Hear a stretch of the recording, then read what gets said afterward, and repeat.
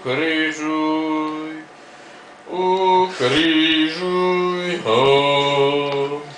Čítanie zo zbierky úloh z algebry podľa Evy a Eleny.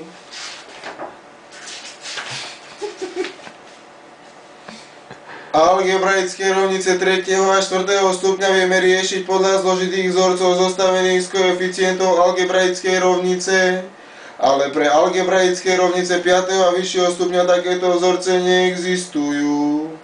Tieto rovnice môžeme riešiť pomocou numerických metód približne. My budeme v tejto kapitole riešiť špeciálne algebraické rovnice, pričom budeme využívať vety 2 až 8. Amen. Ukrižuj, ukrižuj.